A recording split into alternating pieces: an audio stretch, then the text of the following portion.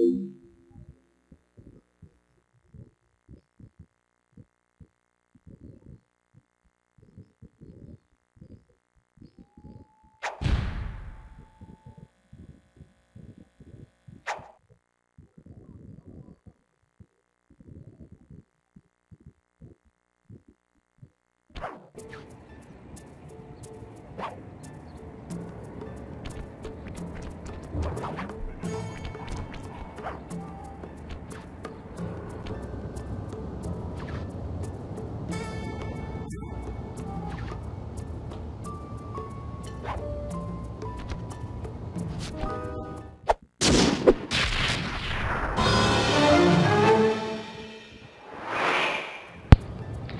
Hello everyone, it's the Awesome Alberto here bringing you awesomeness as always.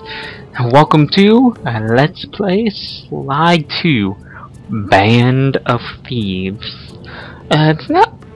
It's probably... Uh, I don't know how to put it. It's a good game. Uh, it has memorable moments, both good and bad, that I'm gonna point out throughout this Let's Play. Now, it's actually been a long time since I've actually touched this game, so I'm gonna be a little rusty at first, but a Sly Cooper game, I can get a, get back to it. And, um, I'm thinking of which one to, uh, destroy, because I was, uh, cause I was thinking, because I have to erase something, so I'm gonna go ahead and erase the, uh, steroid encounter that's later in the game, not too far, though. So, uh, let's go ahead and start. And, uh, this is, explain the, that, I'll explain everything during the LP, but now I am quiet. Breaker Alpha Foxtrot, this is the Wizard. Do you read me, Sitting Duck? This is Peking Duck. I hear you, Blizzard. No, Sly, I'm the Wizard, and you're Sitting Duck. I read you loud and clear, Lizard. No, I, I'm... Forget it, you're not taking this seriously. Yeah, I'm not. Look, Bentley, I know this is your first time out in the field, but you've gotta loosen up. If we're gonna get to those clockwork parts, I need you on your toes. So in plain talk, what's your status? Well, I've established myself in the basement, and I'm pretty sure I can rewire the service elevator if you can power it up from that security station. Hang tough, pal. It might take some time, but I'll figure out a way to get up there. Actually, no time at all. But, uh, welcome to Cairo. Uh, you can see this is a pretty hippin' hoppin' place. And, uh, I'm gonna drop down to show you, bam! These water lilies, lilies are referenced in the first game. Uh, this is, that was Raleigh's, excuse me, Raleigh's, uh, lily pads that were used in, I think, only high-class heist. I don't know what that's a reference to. I think that's just an engine.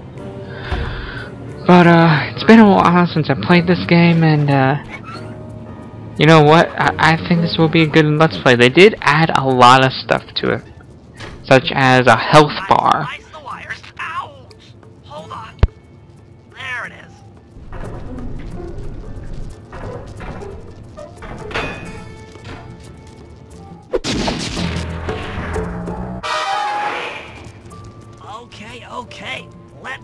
That security computer.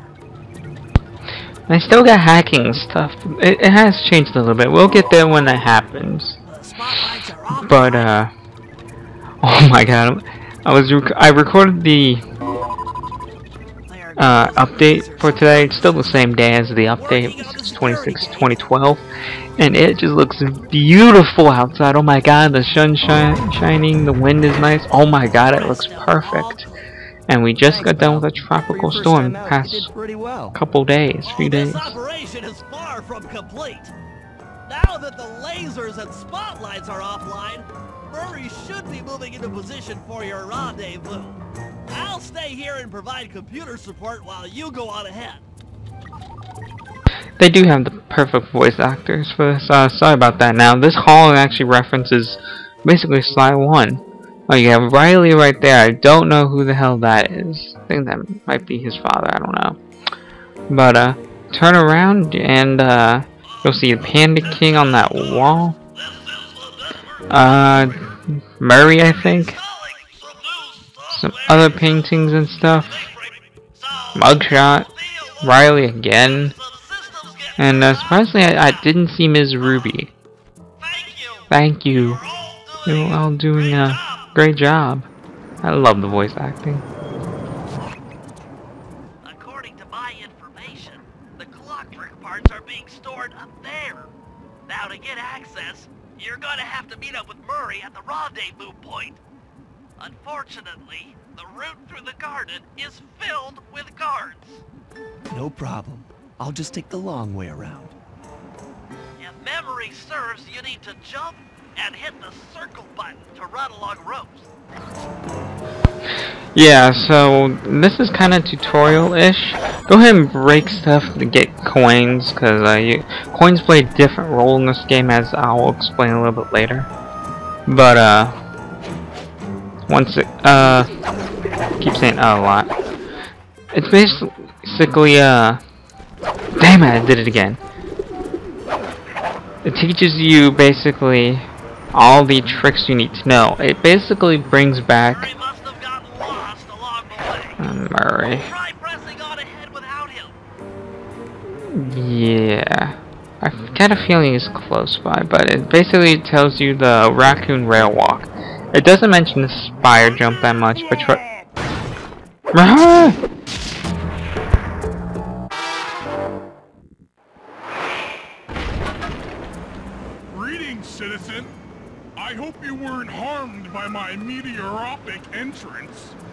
No, Murray, I, I kept at a safe distance.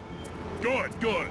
The Thunderflop knows neither friend nor foe, only destruction. Yeah, could you maybe channel some of that raw energy into the security gate? Of course, it is nothing before the Murray. The Murray. God. How he has changed in the years. So, uh, more coins to you. Uh, there's not that much beginning of the game though, but it'll pick up, don't worry. Another barrier stands before you. Fear not, I shall bend it like the truth.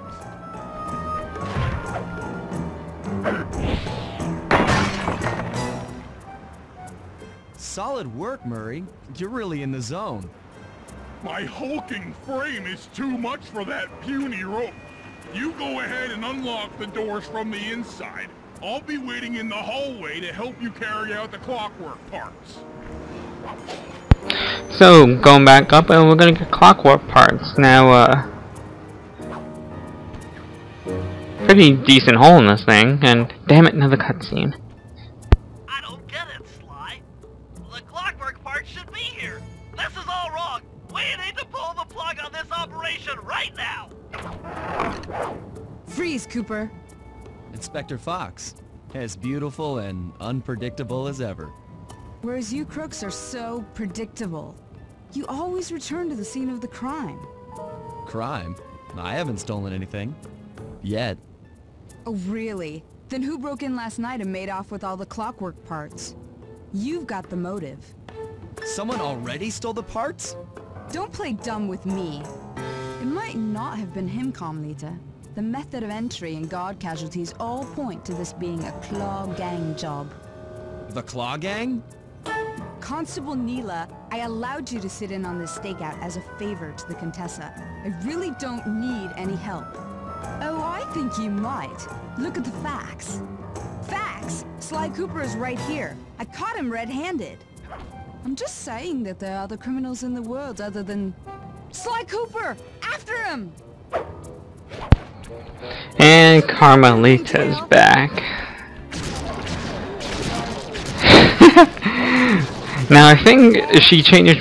They got her a different voice actor for this game and the next game. Don't know why. They kind of kept it same throughout the most characters. Most characters, or at least stuff like Bentley, Murray, Sly. But it doesn't really bother me. It's a pretty good voice. I like the voice. Carmelita. It's more young. Know what I'm saying? Not like it Montoya Fox is supposed to be like Italian. Oh, oops.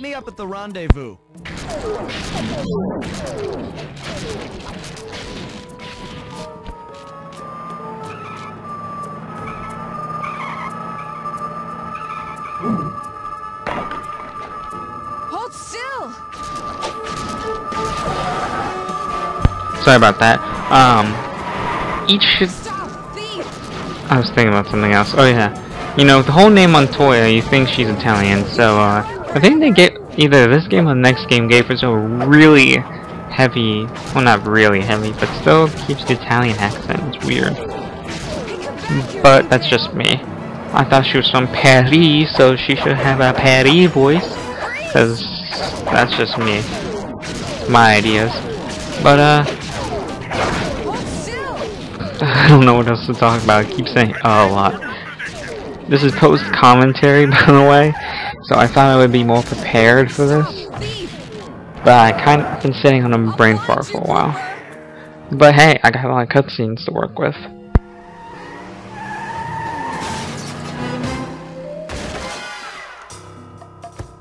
Carmelita's just as angry as ever. She's really quite lovely when she's angry.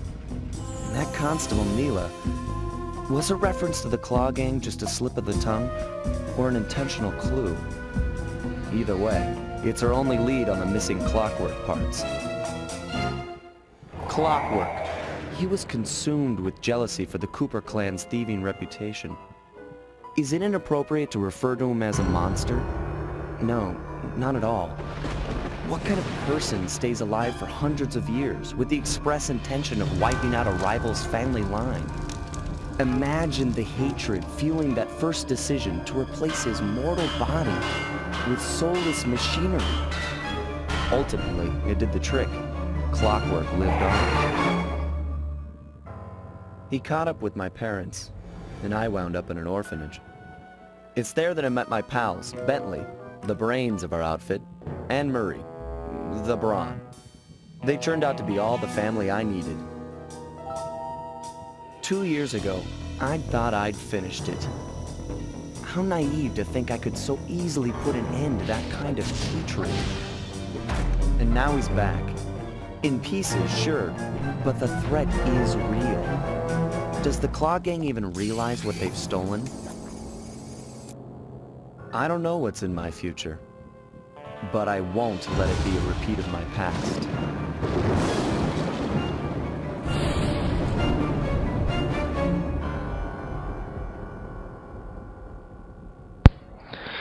And that, my friends, is Sly 2 Bands of Thieves. So, next time on Let's Play Sly... No, I'm not gonna end it like that. I mean, yes, that would be a perfect ending, but I want to get the intros and the tutorials out of the way, because there's gonna be a whole bunch of tutorials, just because they basically opened up the game a little bit in transition from Sly 2... Sly 1 to Sly 2, excuse me. So you can watch movies, but, uh... This game does worlds and cities into different episodes. So episode one has uh this guy. Who the hell is this guy? Everybody who's played Sly Cooper series know who this guy is. I mean, he's a freaking funny ass character. But uh, let's go ahead and start the episode. The Black Chateau. Guy looks crazy.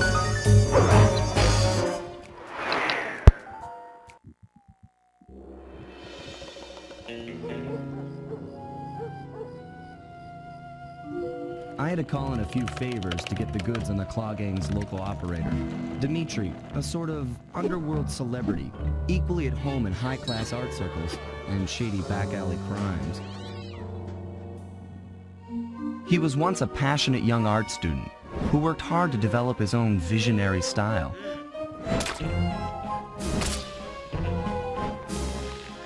Unfortunately, the art world wasn't quite ready for his kinetic aesthetic. So he gave them what they wanted and started forging old masterpieces. His way of punishing those with bad taste. Dimitri now runs a nightclub on the west side. The thumping music, colorful light shows, and a hint of danger lure in chic young patrons from far and wide. And it's here, hidden somewhere, where we'll find the clockwork tail feathers. What Dimitri plans to do with the clockwork part is beyond me. But those plans end tonight.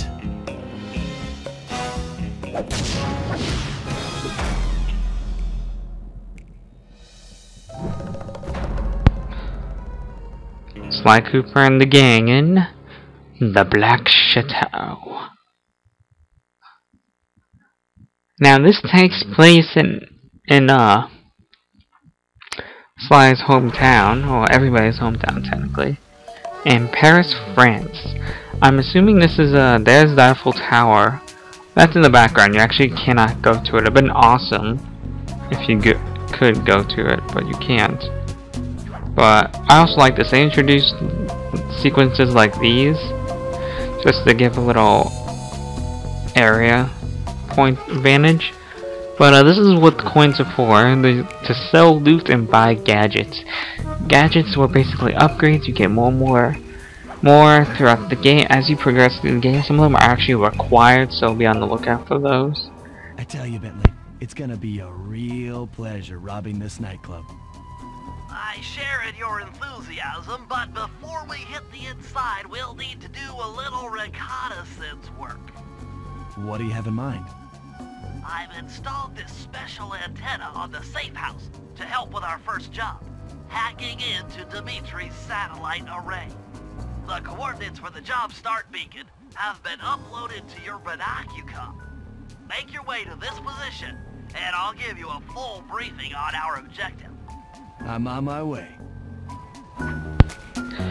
So yeah, the, it's more uh, open worldy. It's still kind of like the first game, how you can choose what missions you gotta do when.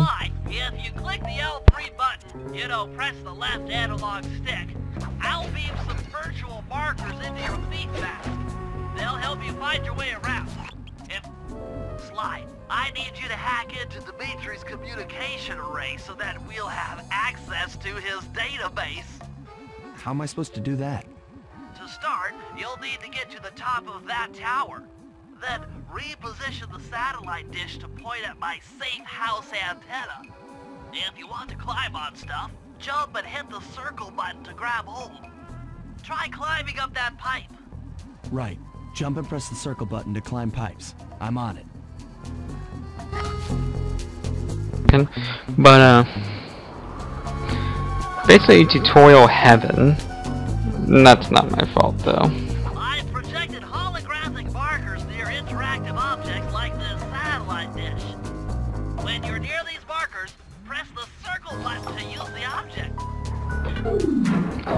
So my dad just got home, but there's gonna be another, I think there's gonna be another cutscene, I think. Or something of the sort. The Nope. first one's in position. I've uploaded the next waypoint into your fleet. Eh, it's repeating itself. Remember, And, uh, L3 button to locate you can see if the if I would turn the camera back on, you see that? You see that right over there? I'm looking straight at. And let me zoom in for you. That's a clue bottle. They're back. Except they're not in specific areas in the game, or missions in this case. It is actually throughout the whole um, overworld, if you put it like that. Or I'm gonna go to city. Over, over the hub. I'm gonna call it the hub because I like hub. But uh, I'm gonna do that and uh, I'm gonna speed up doing that. I actually learned how to do that finally. I've been lazy. I never learned to do that on Camtasia, but hey, I finally figured it out.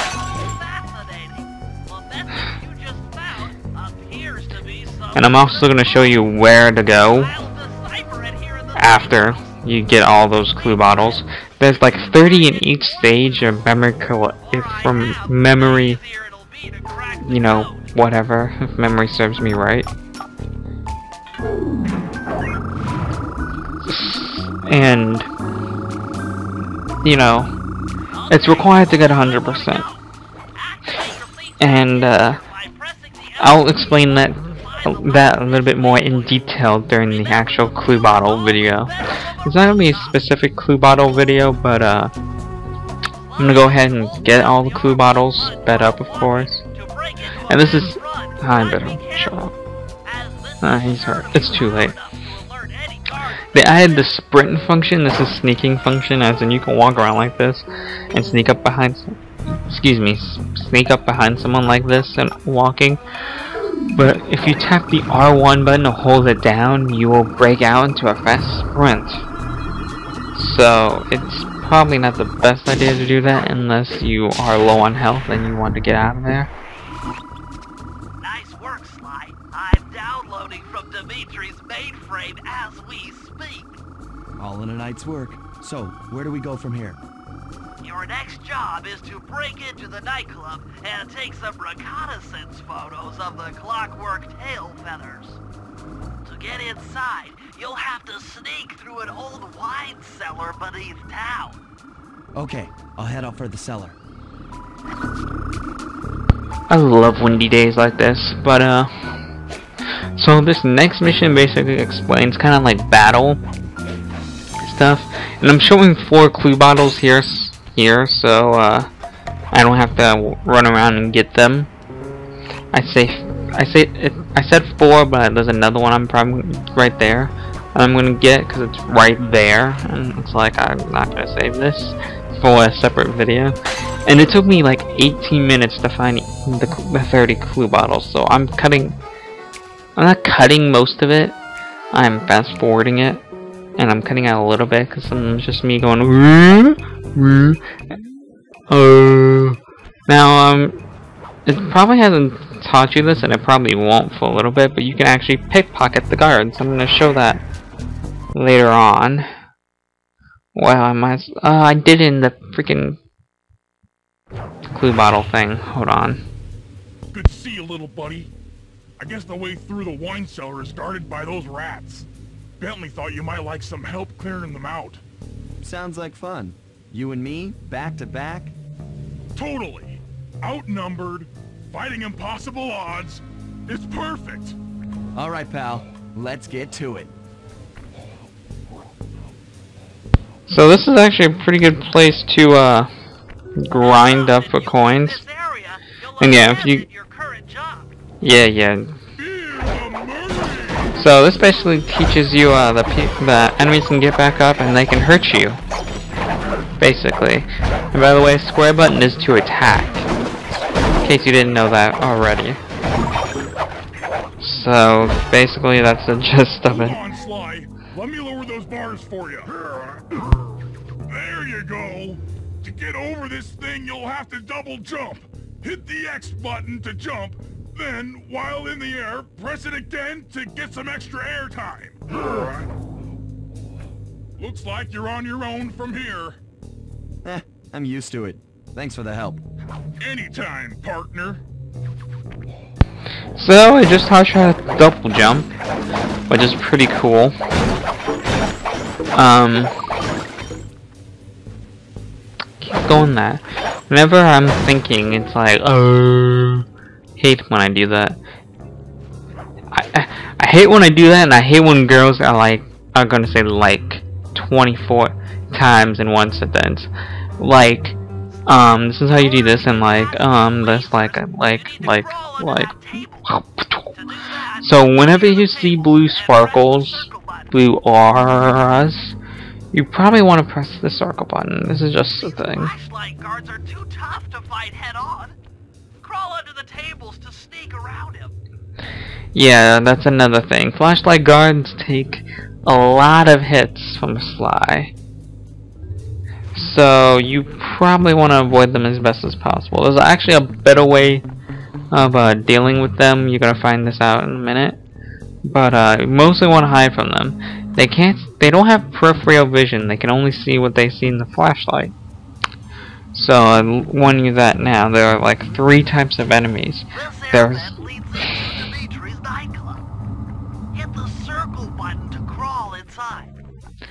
There are three types of enemy base enemies basically. To shut down those yellow lasers, you'll need to take out that guard.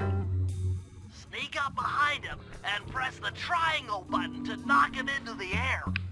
Then the square button to slam and finish him off. Got that? The triangle button, then the square button. You got that? You got that? God, Bentley, I, I you, you- uh, anyway, That sneak attack slam only works on guards who haven't seen you. Wait until this guy turns his back, and then let him have it.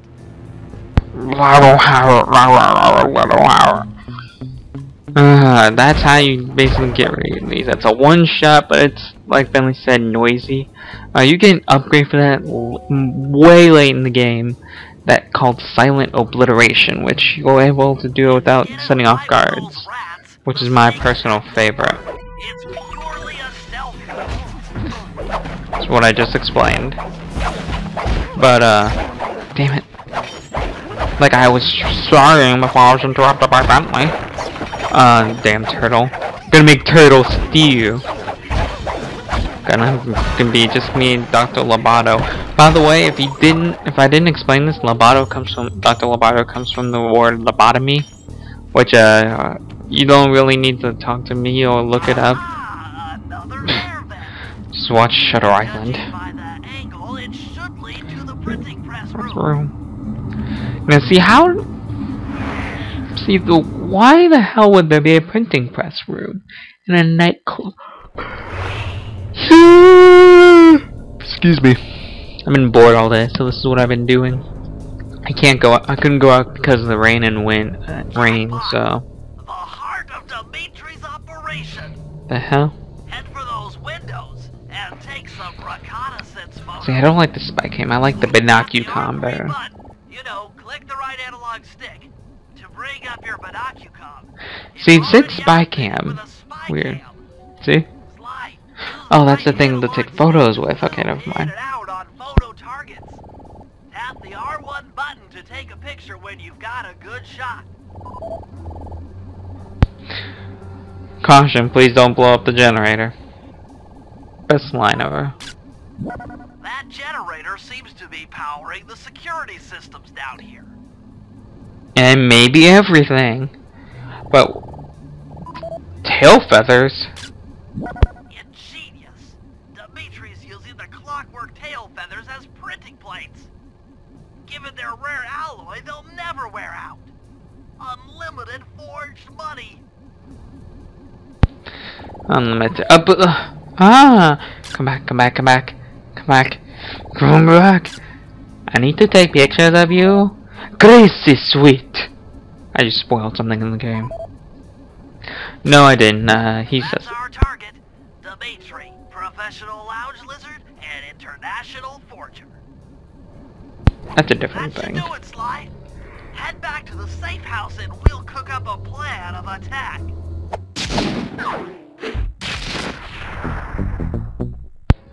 So the next thing is also pretty new in the game, and that's slideshows. The recon photos are a grim reminder of what the modern thief is up against. Spotlights, stepped up patrols. The sum of it all renders a direct assault impossible. To solve this puzzle, I'm going to need some more intelligence. First, replace this bugged painting with one Dimitri has in his office. Once in place, we should be able to listen in on his communications. Second, if you see the boss, tail him. We might learn something from studying his movements. Once we've got a proper understanding of the operation, those clockwork tail feathers are as good as ours. Yeah, but it's gonna be some time before that happens. God. But, uh, I guess that's about it for this episode. Hope you guys liked it, and, uh, I'll see you guys next time on Sly 2. Bye.